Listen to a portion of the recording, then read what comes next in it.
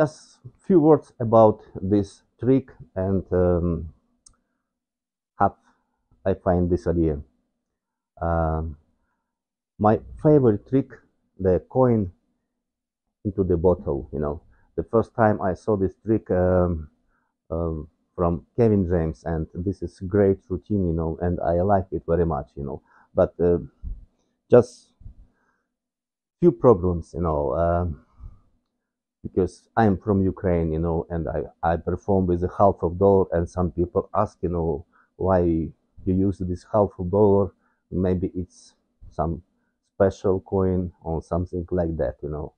And and the second problem, of course, uh, you don't have every time the bottle, you know. So so that's two reasons, you know.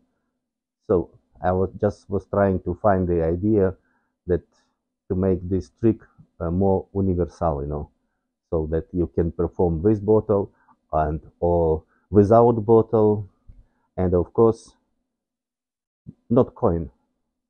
It's a ring, you know, the ring which you can wear and you can have it all the time with you, you know, and you just take it and you can perform. That's my idea.